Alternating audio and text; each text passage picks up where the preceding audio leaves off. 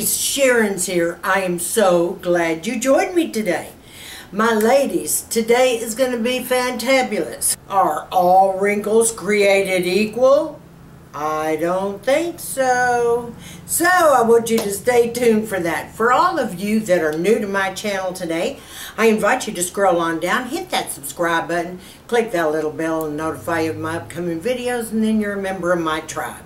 I want to thank you so much for being with me. Okay, my ladies, you know, it's about wrinkles. I don't know whether you knew it, but we have more than one type of wrinkle.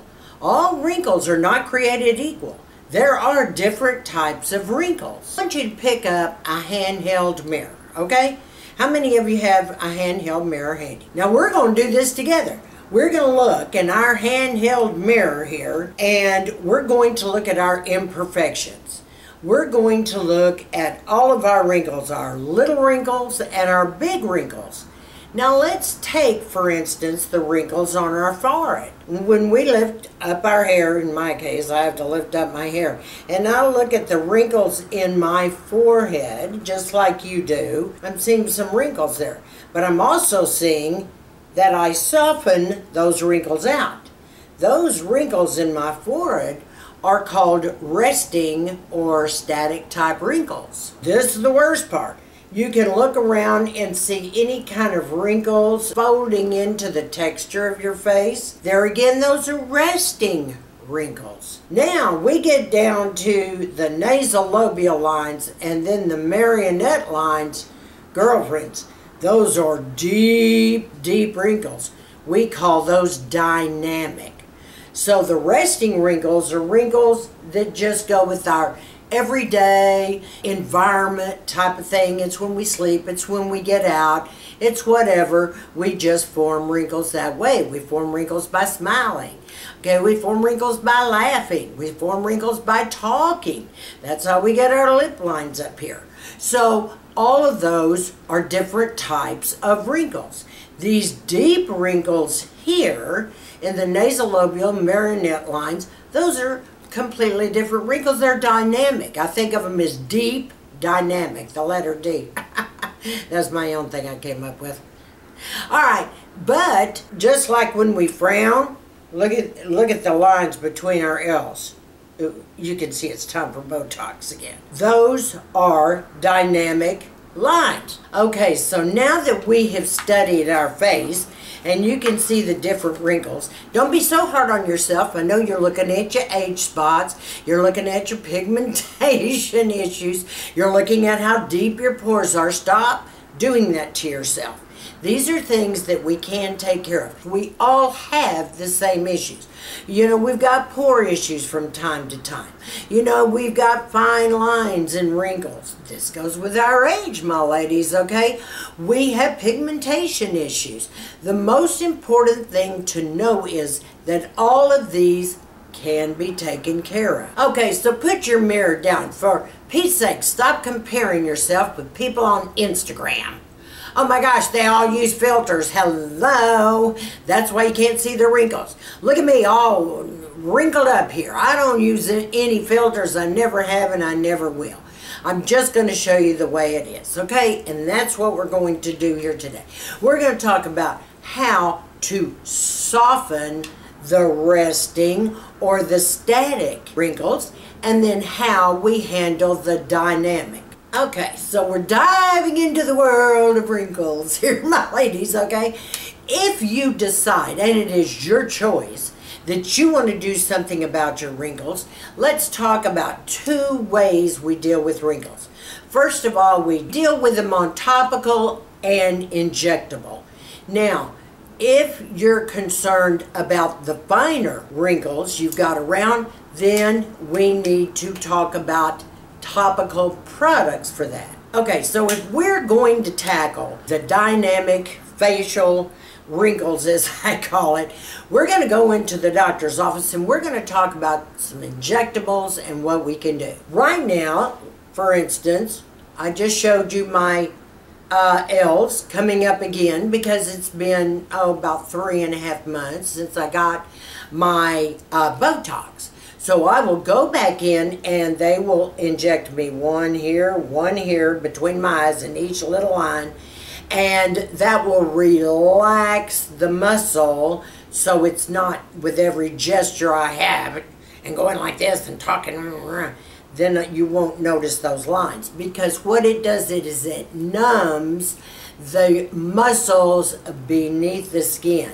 So you don't have that muscle movement going on that is what Botox does it will soften that and of course with that uh, she'll inject one up here and she does one one here and that softens the two lines in the forehead because you know I'm all over the place. I'm so animated. Everything has to be filled and poked all the time, girlfriends. So the next thing that I will have done is to get my Botox around the crow's feet. I get one, two, three injections on each side. Little quick injections. It doesn't take many units. And it softens the crow's feet. So that is the way, these are dynamic with all the expression we use. It's not like our everyday relaxed, static type lines that we get on our face. These are dynamic lines because they are showing up and they will get deeper and deeper and deeper with more animation, more age, more sagging, more everything, girlfriends, okay? So a little Botox goes a long, long way. Now, some of us, and I will get to that later, can soften the eyes with other controlling products, which, which I'll show you in just a moment. But I want to finish this first. Now, let's talk about the nasolabial lines and the marionette. There's not a cream. There's nada. There's nothing you can do to plump those back up and fill it in. You will need fillers to fill it in. And I get uh, Juvederm here and Juvederm here. But the nasolabial lines are a whole different ballgame. I, I need quite a bit going in there. The thing about it is it plumps it up so you don't have the deep lines and that takes age off you. It takes that basset hound look away from your face, if you will. Don't get me wrong, ladies. I love puppies. I've got them myself. And I used to have basset hounds. But I was starting to resemble them too much. That's why I had to go to the doctor. But back to the story. What I want you to totally think about is that these are the only things that are going to take care of the dynamic wrinkles. Now let's reverse a little bit here and let's talk about well okay Sharon I just I just have a little bit crow's feet here I want to fix and you know I just I just want to give a little maybe more plumpness and hydration to my skin okay we can do that but we've got to do it on a cellular level where it goes down deeper into the cells meaning you're going to pass you know, that epidermis go to the dermis. Okay, because you're going to have to build it through the cells if you want to get this plumpness. That means you're going to have to go to more medical grade products. For instance, let's say for super, super hydration, you want hyaluronic acid. This happens to be a medical grade hyaluronic acid by SkinMedica. This is fantastic, probably the best on the market according to everyone. This hyaluronic acid is the number one choice. And I'm telling you, if it didn't work, I wouldn't be using it because it's not cheap. But it is the most effective hyaluronic acid that I've ever had on my face. And believe me, I've tried a bunch. I mean, I'm not crazy. I just didn't go out there and use medical grade for nothing. I use medical grade because that's the only thing that works for me at all. Hello, girlfriends. There you go. It's what works. Now, the next thing that you want to think about is keeping your skin brightened as well. And I do that with another medical grade product, vitamin C. Okay, this is SkinCeuticals with ferulic acid. This is the only one that works for me and that is the best medical grade vitamin C I've used. You know, I used to use Revision way back when because Revision is made much like the Truth Serum Vitamin C. That was great before I hit 50. After 50, I had to have a bigger gun, and this is what did it for me. This keeps my skin bright and alive looking. I love my vitamin C. Love it to pieces, girlfriend. The next thing we've got to talk about that every gal needs is she needs her retinols. Whether it be retinol or retin A, which is another word for tretinoin. And I use the 0.1%, uh, the big gun and have for eons and eons and eons. This is what does a lot of the exfoliation and softens some of the lines on our face. This is good for your static. This is good for your resting wrinkles. This is heaven. What it does to the barrier is incredible, but it goes down to a cellular level. So it treats even more than that. It treats elastin as well, and it builds up cells. This is what causes the cells to start working and doing their thing and giving you that young, youthful look. All right, the next thing that you've got to concentrate on is good eye products. You have got to use a medical grade if you're going to try to soften some of these lines under here. And in the daytime, I use the Revision DEJ it is the best of the best of the best for daytime. Now, I will tell you this, if you have bluing under here, try the revision product called Teamine, T-E-A-M-I-N-E. That is good for the darkness under the eyes. That eye cream is superb. And I used to use it too, not so much for bluing, just because I love that product. But the DJ, mm, kick butt, and I use it every day. In the evening, I am always, always, always using my SkinMedica TNS Eye Repair. Now this has your growth factors in it and that takes care of everything under your eyes. It keeps them youthful, it keeps them pretty, it takes care of the lines. That's why I have very little Botox done because of the products that I use. I would probably be spending a fortune going in getting Botox or fillers if I didn't use these products. But as it is, I, I don't even need that much, and I can wait longer periods of time as well by using my medical grade. It's all about saving that money, girlfriends. And don't think just because medical grade's expensive that that's not being less expensive for you as far as Botox. Yes, especially when you go to the sellers that I provide for you, okay? All right, the next thing is everybody needs rejuvenating serum all over the face. And there's only one and one only, and that's TNS Essential uh, with SkinMedica. This has your growth factor, your peptides, amino acids in it. It's got antioxidants in it. Every single thing are in two chambers. One chamber is all about the growth factor and everything. The other side is your peptides, your antioxidants, and everything.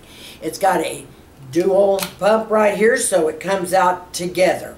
So you get everything you need, all those products in this one product.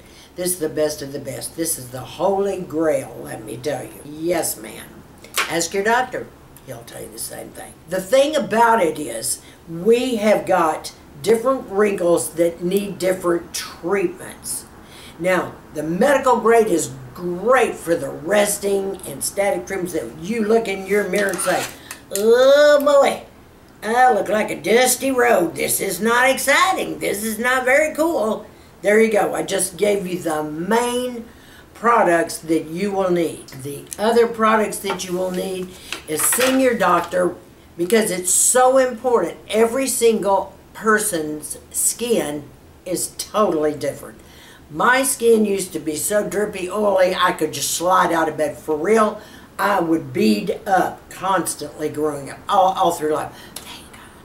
Because I'm going to tell you what, when you get older, your skin looks a little younger. You got kind of a jump start there. It'll last a little longer if you know what I mean.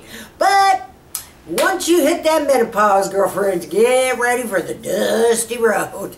Things are going to start drying out on you. This is where you need all this medical grade skincare to keep you young and youthful and plump and hydrated oh my gosh, keep you from sagging down to your knees. I'm telling you, girlfriends, that's all that's going to do it. I know. It, you know, it's heck being a woman, but you, you know, you got to suffer to be beautiful, and sometimes that means in the pocketbook. I'm going to always put this as a main staple on my list all the time because I never want to run out. I never want to not have my medical grade because truly, I don't have any time to lose. I'm 70, I'll be 71 here in what? Uh, two more months. Ah! it's nasty. I do not want to be without my medical grade. I don't want to be without my Botox either, and I don't want to be without my Juvederm. Now, there's ways that you can save money on your Juvederm and your Botox, and that is by buying different SkinMedica products and other products on things like Dermstore, Beautylish, things like that. You will get points on brilliant distinctions for everything you spend on that those products and you'll build points by doing Juvederm and Botox of all kinds. So I always get points. Like I'll go in again and I can tell you right now I've got enough of my brilliant distinction points. When I go in to get my nails done it's not going to cost me a dime. Instead of, you know, spending three or three fifty, you know, for my nails, I won't have to pay a dime because I have enough points built up from my last visit. This is what is so fantastic about it is you get points. And this helps you. But like I said, ladies, please go see your doctor and let him prescribe the right methods for you. And it could be that he wants you to start out with the medical grade before you even go to to Botox or to something like Juvederm. That's going to be strictly up to the two of you. I follow my regime with my doctor to the T. I mean, absolutely I do. And I told you, I'm getting ready to go in because my face is really, it, I mean, I'm 70. Come on, girlfriends, it's going to sag, okay? And it is sagging, okay? No matter how much my elastin's been built up, we still see a little sagging going on here. The best way to take care of that is to go in and put in some Juvederm right in here, you know, Voluma type, which is by the Juvederm company, to give this a little lift. I have no problem with that. My gosh, you know how long that lasts? Now it's lasted two years, that filler. piece of cake. I love to save money, yes. So if it lasts two years, hello, girlfriends. Mm-hmm. But your doctor will know what you will need and what you don't need. So by all means, go check with your doctor first. But by all means, ladies, I have to tell you this. No matter whether you're sitting and you're relaxing and you're looking at your resting wrinkles, no matter if you're laughing and giggling and you're animated and you see your expression lines, these are expression of you. Now, you can age gracefully and that's up to you.